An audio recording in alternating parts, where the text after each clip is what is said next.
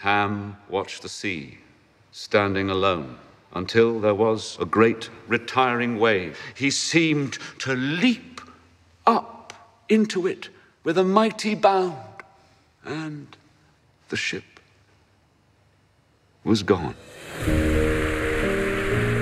Truly, Mr. Dickens, it is never so alive as when it is spoken by its author. Thank you. Mr. Dickens! Mr. Dickens! Hello. Thank you. You are an admirer of my husband's work? At the moment, I'm lost in the Copperfield. Nelly has read every chapter twice. I am glad. Every human creature is a profound secret to every other. Until that secret is given to another, and then perhaps two human creatures may know each other. Why are you up so early? I must go to London.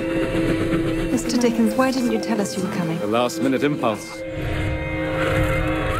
So, what will you do with your winnings, Nelly? I shall spend it all at once.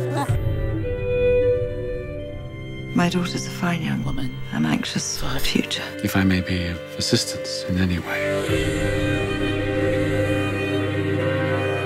Do you love him? He's married. That has not stopped him falling in love with you. More gossip in the London Diary? You must deny it. You cannot keep her a secret. Yes, I can.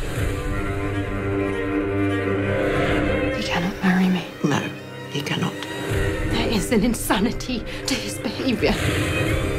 You have been in every line I have ever read. You are part of my existence. To the last hour of my life, you remain part of my character. Everyone has their secret, and this is ours.